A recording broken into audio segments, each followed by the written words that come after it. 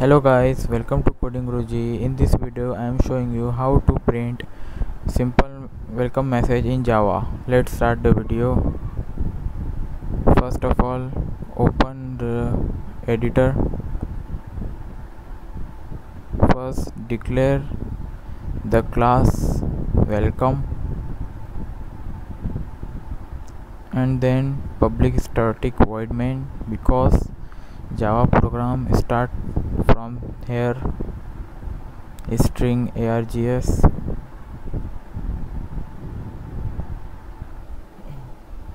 and simple system dot out dot print for printing any message.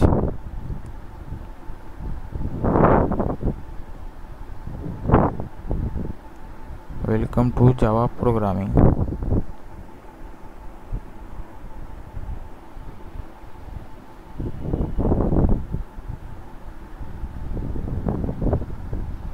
save this file as same as the class name dot java. Extension should be dot java otherwise file not working.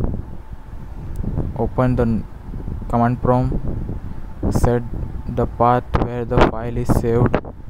In my case c drive online code java and then file file name java c welcome.java this is the method to run the java file.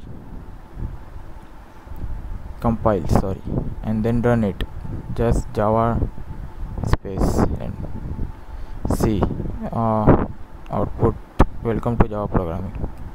Thank you guys. Thanks for watching. Subscribe my channel and like this video. Thank you